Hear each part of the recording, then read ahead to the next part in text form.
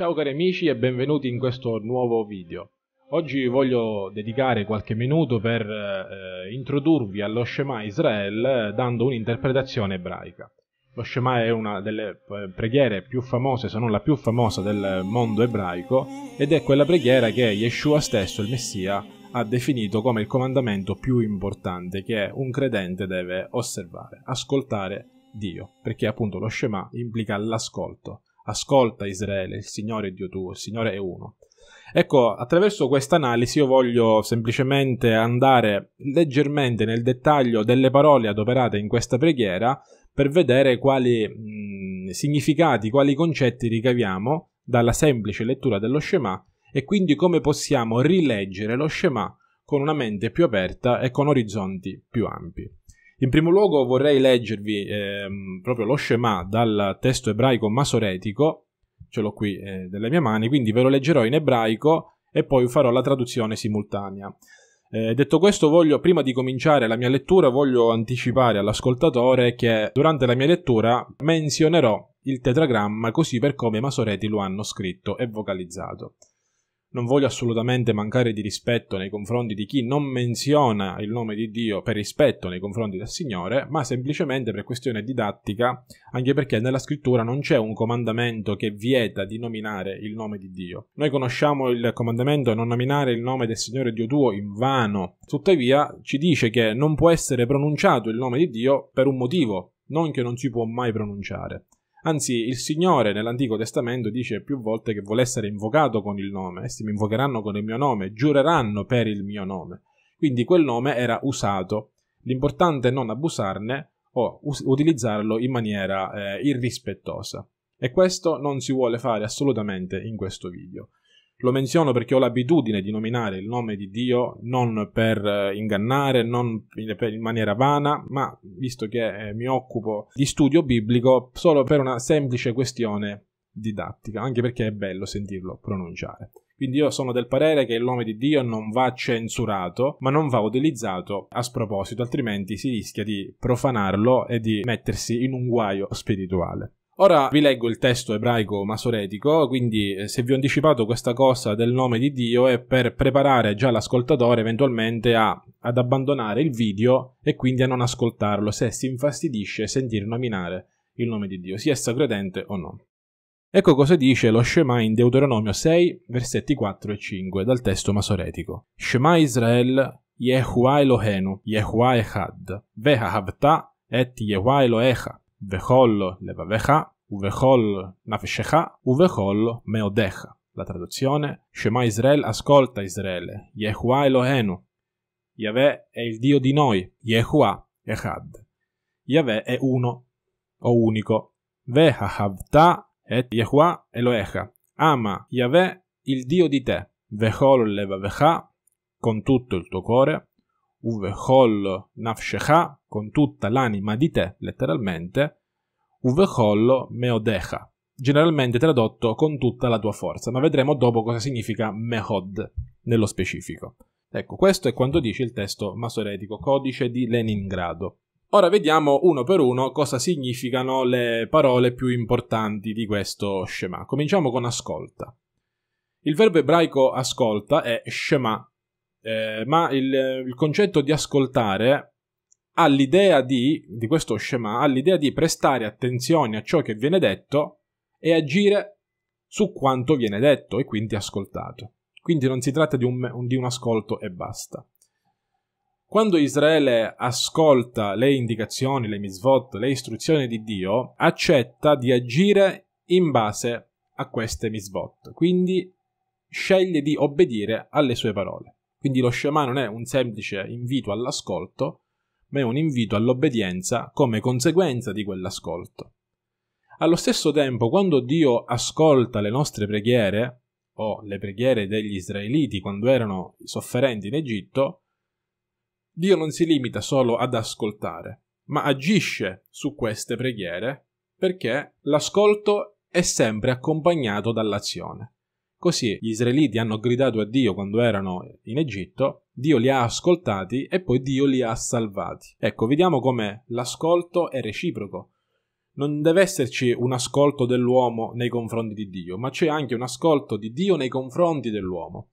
E l'unità fra l'uomo e Dio avviene quando c'è questa reciprocità, questa unità, questa intesa, esattamente come Yeshua e il Padre erano uno, per questo c'era intesa e per questo Yeshua veniva sempre esaudito quando doveva guarire, liberare, eccetera, eccetera. Quindi l'ascolto non è un semplice ascoltare e basta, ma ti sta dicendo fai qualcosa, perché quello che stai ascoltando è una mitzvah, è un comandamento, è un'azione che Dio ti chiede di fare. Se tu non lo fai, se tu non ascolti le parole di Dio, non pretendere che Dio ascolti le tue e agisca di conseguenza, facendo qualcosa per te. Adesso passiamo alla parola uno echad. Questo verso, eh, lo Shema, è comunemente interpretato nel senso che c'è un solo Dio, ovvero che Dio è uno. È vero, perché il, il versetto nel suo contesto sta denunciando la pluralità di dei pagani dei cananei. E quindi eh, questa preghiera sta dicendo come prima cosa, innanzitutto, caro Israele, sappi che Dio ce n'è uno solo, e questo Dio è Yahweh. Questo, diciamo, è il senso storico dello Shema. Ma il, il senso più ampio dello Shema, è, da una prospettiva ebraica, è che Echad può significare unità all'interno di un'unità ad esempio un gregge di pecore. Il gregge è uno, questo è l'unità, ma è composita perché ci sono tante pecore in questo gregge. Oppure come un gruppo di persone. Ecco, gruppo è una parola che implica un'unità di persone, ma quest'unità è composita perché ci sono tante persone. Ecco, la stessa cosa si può dire anche di Dio, che suo, nel suo essere uno, all'interno di questa unità singola, che dovrebbe essere Yahid in maniera specifica, noi abbiamo Echad. Yahid significa uno numerico, Echad significa uno composito. E questo è il caso di Yahweh, ovvero che il versetto afferma che Yahweh è in unità con se stesso. E un esempio di questo sono la colonna di nuvola di giorno e la colonna di fuoco la sera. La prima serviva per dare ombra e freschezza eh, agli israeliti e l'altra per dare luce e calore. Allo stesso tempo queste due colonne servivano per dare misericordia, per mostrare misericordia e giustizia. Giustizia nei confronti degli egiziani che stavano inseguendo gli, gli ebrei e misericordia in qualità di protezione nei confronti degli ebrei perché erano inseguiti dagli egiziani. Quindi vediamo che queste due colonne agiscono per scopi eh, diversi eppure la fonte è unica. E questa fonte è Yahweh, Hashem. E quindi vediamo come queste due colonne, sebbene siano distinte, agiscono con un unico scopo. E questo è il significato dell'unità composita.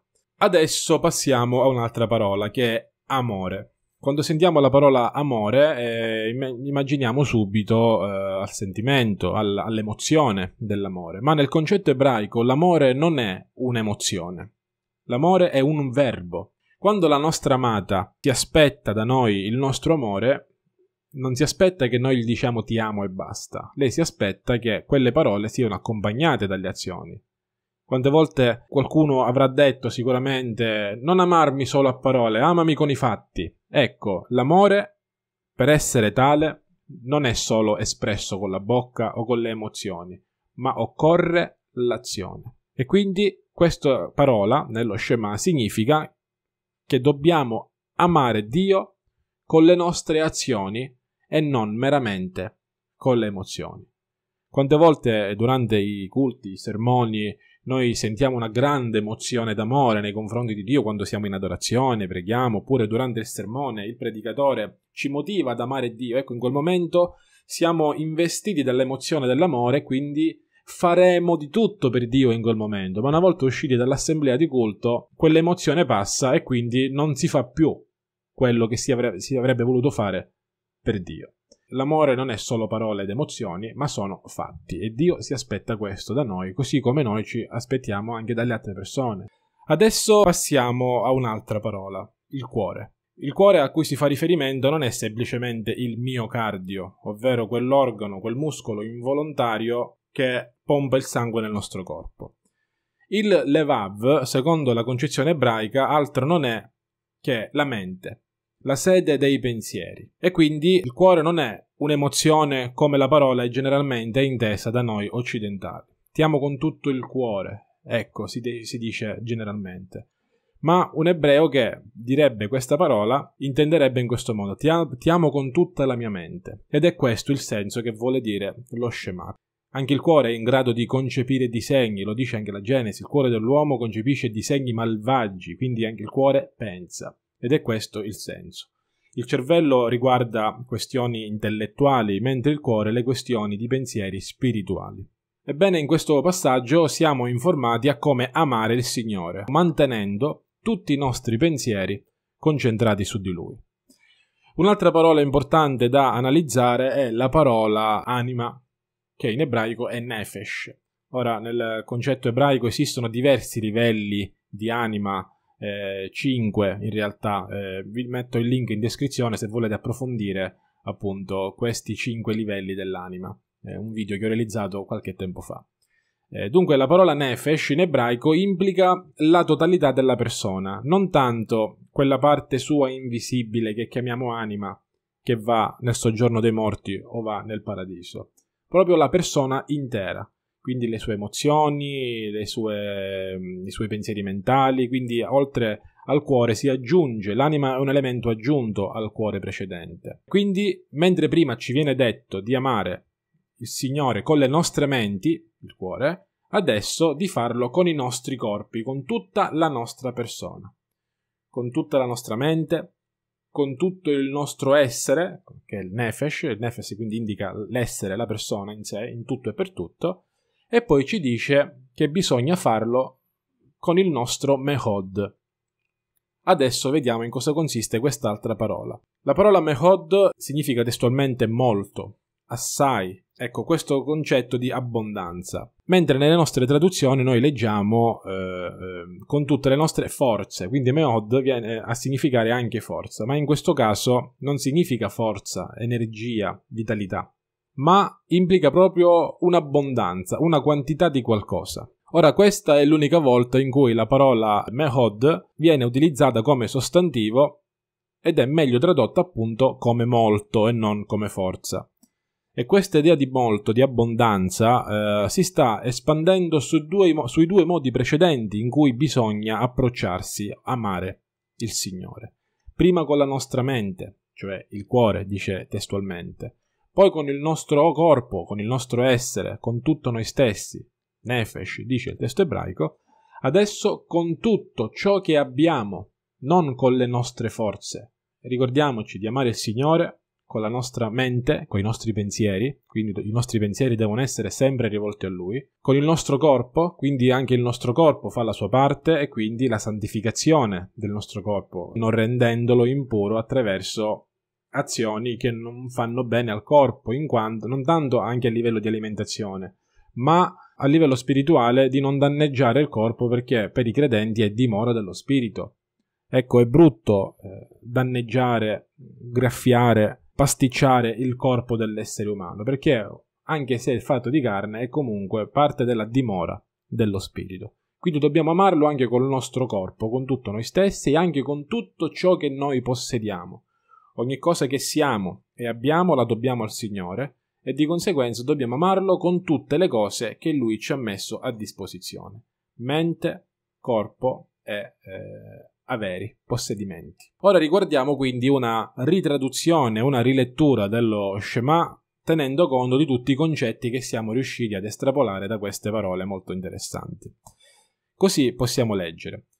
Israele, presta molta attenzione e rispondi. Non c'è solo un ascolto nello Shema, ma c'è un ascolto e una risposta, un'azione.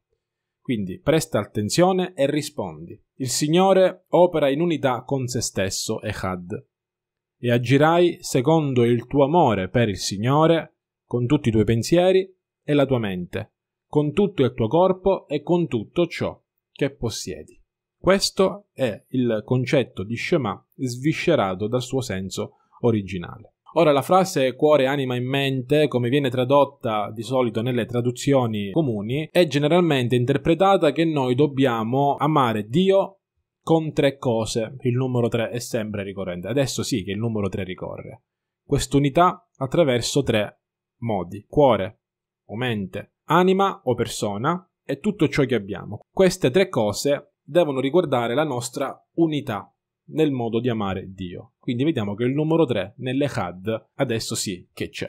Però in realtà questa frase è una forma di poesia, mm, non è un testo storico, giuridico che bisogna leggerlo come se stessimo leggendo la Costituzione italiana. È una preghiera e quindi in qualità di preghiera ci si esprime, almeno nel mondo antico, in termini di, di poesia. Quindi dobbiamo assegnare, dobbiamo restituire allo Shema la sua licenza poetica. E questa licenza poetica prevede che lo Shema utilizzi queste tre parole come sinonime per dimostrare che il nostro amore per Dio deve essere onnicomprensivo, a cominciare dai nostri pensieri, dai nostri corpi e da tutto ciò che possediamo. Ora, se noi facciamo attenzione, per concludere un ultimo dettaglio, alle Bibbie ebraiche che noi abbiamo a disposizione, quindi le eh, versioni, edizioni a stampa, in questo caso la Bibbia ebraica Stuttgartensia, in tutte le Bibbie a stampa, e come vi mostro anche in sovraimpressione, eh, nella, nel versetto Shema Israele, Adonai Elohenu, Adonai Echad ci sono due lettere scritte leggermente più grandi. La prima è la Hain, è la, la, diciamo, l'ultima lettera della prima parola, e la consonante Dalet, che è l'ultima lettera dell'ultima parola. Ora, quando prendiamo queste due lettere e le uniamo insieme, otteniamo la parola Ed, e la parola Ed significa testimone. Cosa significa questo? Significa che nel giudaismo biblico e anche rabbinico, lo Shema viene contemplato come la testimonianza da testimone, da head, di Israele e in qualità di dichiarazione di fede del popolo ebraico. Quindi lo Shema è la dichiarazione di fede degli israeliti e quindi la testimonianza all'invito ad amare Dio e ad agire di conseguenza per questo amore. Ora, queste lettere però di grandi che vediamo più grandi, sia qui in sovraimpressione, ma soprattutto nel testo masoreti, nelle Bibbie ebraiche a stampa, non lo incontriamo nei manoscritti ebraici antichi come quelli di Qumran, ad esempio, perché se noi confrontiamo il testo masoretico e il testo di Qumran, Qumran non riporta queste due lettere scritte più grandi, mentre nelle nostre edizioni a stampa, sì, ricavate dal testo masoretico. Questo che significa? Che qualcuno abbia o apportato questa leggera modifica al testo, oppure i masoreti hanno tratto, hanno attinto da una tradizione a loro precedente che presentava questo sovradimensionamento delle due consonanti ebraiche. Fatto sta che eh, non abbiamo assoluta, una risposta assoluta dell'origine di questo sovradimensionamento delle eh, due consonanti, sappiamo solo che sono stati i primi, cioè gli unici codici che presentano questa caratteristica è il testo masoretico. Ma l'origine di questo sovradimensionamento è un mistero. Anche se queste lettere non sembrano essere state nei testi originali, visto che nei rotoli di Qumran molto più precedenti rispetto al testo masoretico non sono presenti, quindi anche se in testi originali non erano presenti, comunque a livello didattico possono insegnarci tanto e tanto ancora, perché attraverso la permutazione ebraica, che sono delle tecniche di interpretazione della scrittura secondo le quali accostando lettere eh, in parole diverse possiamo ottenere altre parole. Ecco, si verifica anche in questo caso con le nostre Bibbie. Ecco, detto questo, ho voluto presentarvi, secondo la mentalità il concetto ebraico, lo Shema come poteva essere inteso duemila anni fa e al tempo stesso di Mosè. Ecco, spero di aver fatto cosa gradita attraverso la condivisione di questo studio. Se voi avete eh, desiderio di conoscere il significato di una parola specifica ebraica della Bibbia, scrivetelo nei commenti che allora io poi farò le ulteriori indagini e realizzerò dei video dove vi spiegherò eh, i significati che vi piacerebbe conoscere da più vicino. Spero che il video vi sia piaciuto, condividetelo e spero soprattutto che sia stato di benedizione per voi. Shalom.